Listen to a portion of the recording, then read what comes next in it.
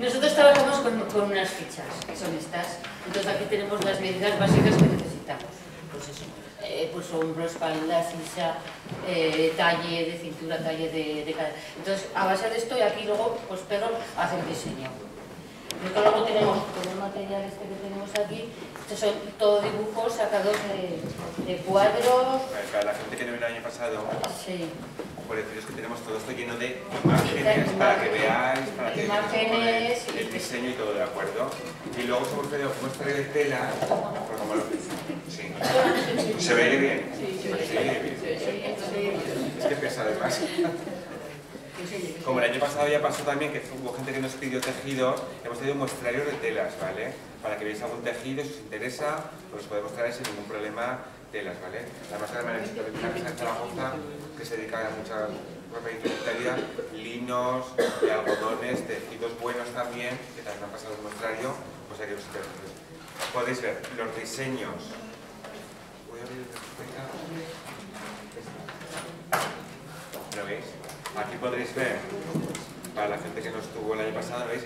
Diseños de cuadros de la época, porque son cuadros realmente de la época, ¿sí? Y algún modelo ya que hay por ahí, para que sobre esto veáis y tengáis idea ya de lo que, de lo que queréis haceros y con ese diseño y las medidas ya os podemos ayudar a la hora de cortar y... ¿de? Yo creo que es, es cómodo el taller, es fácil. El año pasado resultó bastante fácil, pueden hablar también las que visteis el año pasado. Pues, mire, Me lo hice el año pasado, pero el problema lo tuve. espera, que no te oigo. Hablar hablaré fuerte, pero oír no. Dime. A ver, yo me lo hice el año pasado, pero el problema que aunque lo más o menos, en la web. Sí. Lo hice, pero bien y salí un poco de paso. Quería saber. Yo solamente quería hacerme el ahuecador. El ahuecador, vale, no hay problema. La, la tela que hay que empelar, qué tipo de tela y cómo hacerlo. Pues nosotros hemos, conseguido una tela, mañana- esa tela tipo cancán, que es así rígida, Eso, sí. pues nos la han conseguido en un mercado en, en Tarragona, Sí, ¿no? Nos han conseguido unas piezas enteras de, de tela de esa tiesa, ¿vale? Entonces, y lo que estamos haciendo en Caspe es una sábana vieja que tengas, Eso me lo hice el año pasado. pues entonces a esa sábana le aplicamos unos volantes, Hacérmelo mejor. le aplicamos algún volante y alguna, alguna pieza por dentro de, de alambre, lo que sea, ya está.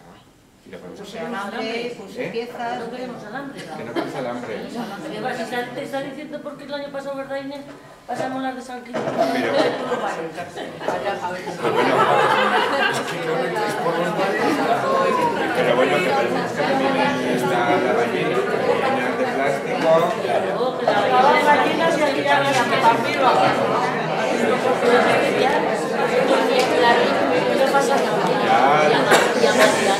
De todas formas, con tela esa bien tiesa, Me la hice con uno pues, sábanas y con unos aros.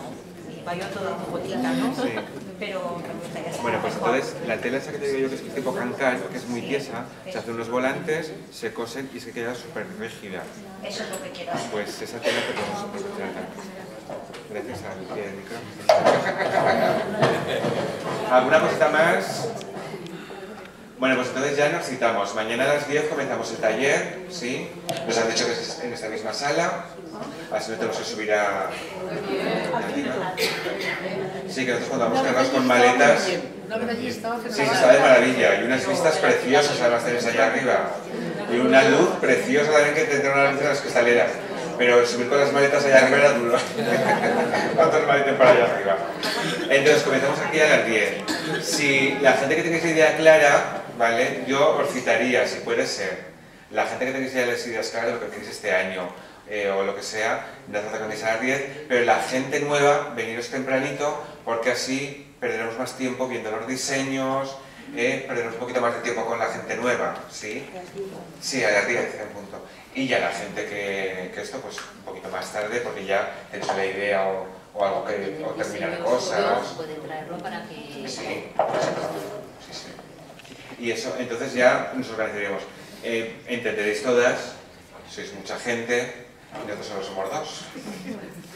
Y tenemos dos manos cada uno y... Entonces, tendremos todo el mundo mucha paciencia, ¿verdad? Como el año pasado, ¿eh? Yo me he traído la maleta de paciencia llena. O sea, llenísima. Ya sabes que el año pasado te portamos bien. Os portasteis muy bien todas. Y yo que me porté mejor todavía, resultó de maravilla el taller. El taller resultó de maravilla. Pues eso. Tenéis que... Oye, eso me lo cuente. Está contando intimidad del profesor. Entonces eso, tenemos paciencia de todo el mundo, ¿verdad? El taller puede, puede funcionar y tal. Y luego ya mañana quedaremos en los próximos talleres, el fin de semana que tiene que ser, pues que nos adapte a todo el mundo. Nosotros somos un poco pillos de trabajo, tenemos alguna recreación por ahí y eso, pero bueno, intentaremos adaptar para que la mayoría de la gente por lo menos pueda asistir al, taller, ¿vale? O por lo menos que tengáis faena para llevarse a casa y esas cosas. Quería que, preguntarte sobre el tema de la indumentaria para niños. Sí, ya me preguntaste escucho por ahí. Pues a ver, a los niños realmente los vestían como los adultos, ¿vale? Copiaban la indumentaria de los adultos para los niños. Yo entiendo que un niño pequeño, según qué edad, incluso bebés, vestirlos con sus trajes y en junio, los pobrecitos lo van a pasar fatal. Entonces, yo ya he dicho antes, hoy también dado una idea pues, un sayón de lino fresquito, cómodo, con un cinturoncito, una cinta y una crespinita, ese es un cauchuchito, esos, y nada más. Por comodidad, ¿vale? Realmente, realmente los vestían exageradamente como, como, los, como los adultos, ¿vale? Pero claro, es pobrecito, pues, a mí es que me pasa pena vestidos con semejantes ropajes, ¿vale? Entonces, ir a lo cómodo, pues esos sayones de hilo, de tejidos fresquitos de algodón, ¿vale? Un sayoncito con unos bordados, con alguna, algún detalle, alguna decoración, ¿vale? Pero no llegar a semejantes indumentarias, sino, cosas más ¿sí?